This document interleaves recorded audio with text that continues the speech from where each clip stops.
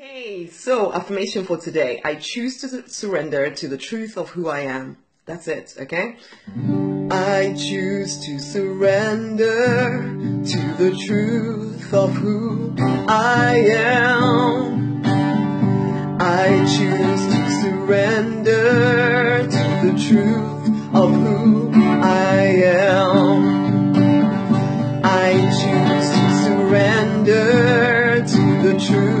Of who I am. I choose to surrender to the truth of who I am. We can go through life and start to forget who we are. You're connected to source. You have a purpose, a reason for being here. And sometimes that feels a little bit like, oh, it's unreasonable. Uh, uh, uh, uh. Surrender. Be all you are if you want true fulfillment, true happiness, true success. Till the next time, much love.